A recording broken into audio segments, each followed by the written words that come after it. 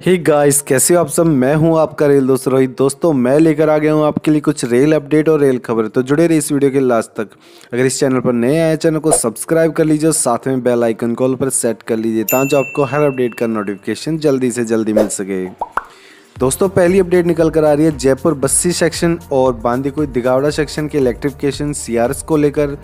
जो 25 और 26 नवंबर को लिए गए हैं, जो कि सफलतापूर्वक रहे हैं। अब इस सेक्शन पर इलेक्ट्रिक लोगों के साथ ट्रेन कब चलेंगी, उसका सेफ्टी क्लियरेंस कल मिल चुका होगा।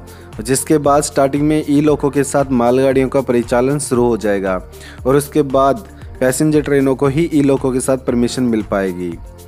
अगली अपडेट आती है कोटा डिवीज़न के झालावाड़ सिटी से जूनाखेड़ के बीच विद्युतीकरण और नई रेल लाइन का सीआरएस लिया गया, जो कि 26 नवंबर को स्पेशल गाड़ी से 120 किलोमीटर प्रति घंटे की रफ्तार से स्पीड ट्रायल लिया गया।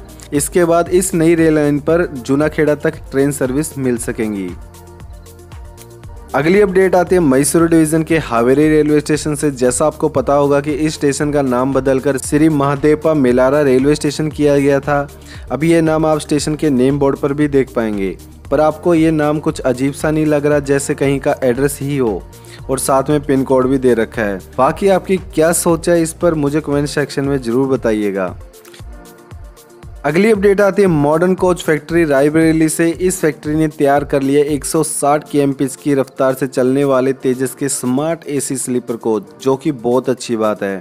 अब आप लोग तेजस में सोकर भी यात्रा कर पाएँगे, पर अभी इसमें टाइम लगने वाला है।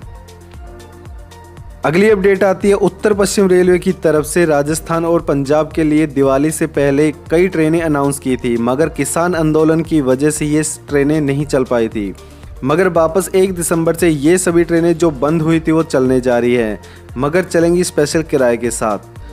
तो बस दोस्तों, जानकारी अच्छी लगी तो वीडियो को लाइक कर देना शेयर कर देना और ऐसी और अपडेट पाने के लिए चैनल को सब्सक्राइब ज़रूर कर लेना। तो मिलते हैं दूसरी वीडियो में अच्छी अपडेट के साथ, तब तक के लिए जय हिंद दोस्तों।